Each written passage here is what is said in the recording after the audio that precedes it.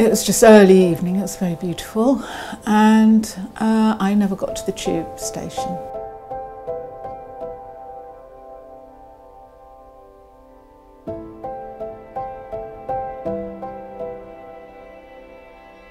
We were playing on AstroTurf, hit the floor with my head. I just remember thinking, ow, that really, really hurt. I was on a push bike and um, unfortunately wasn't wearing a helmet.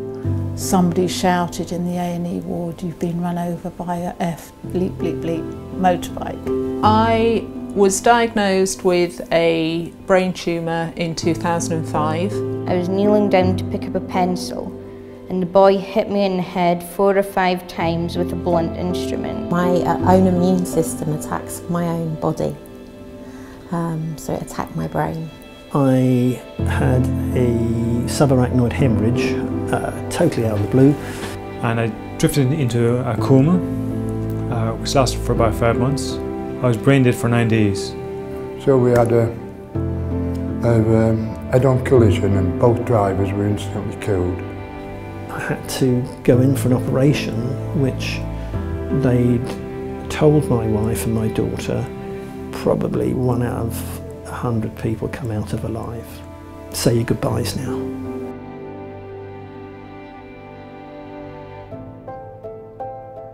I, I just stayed in my bedroom at home because uh, that's the only place I was familiar with because uh, I had lots of lots of problems when I came when I uh, came out of my coma. I started becoming left-handed instead of right-handed. All my emotions are very to the fore and ongoing as you can tell because I'm very upset now. People don't quite understand how to how to be around you or how to empathise with you properly. I had one really upsetting moment with my GP. It was kind of like stiff upper lip and carry on kind of thing. There was no kind of offer of assistance from the NHS, you know, like connecting the dots for us, okay?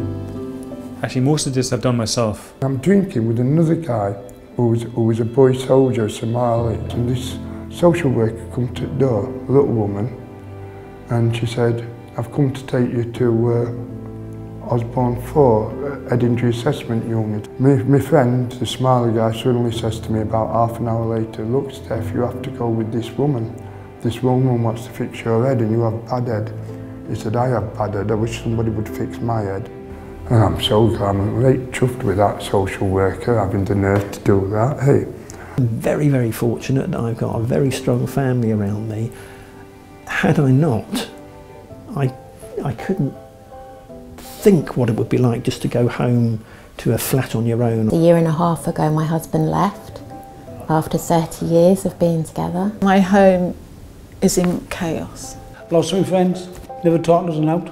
We don't go to family functions, gatherings, we're kind of ostracised.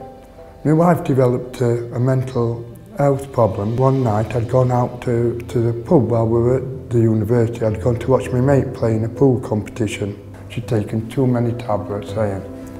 So she died, eh?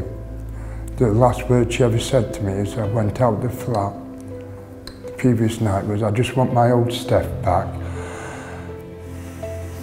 The pathway for um, recognition, diagnosis and treatment and quick access to treatment needs to be more efficient.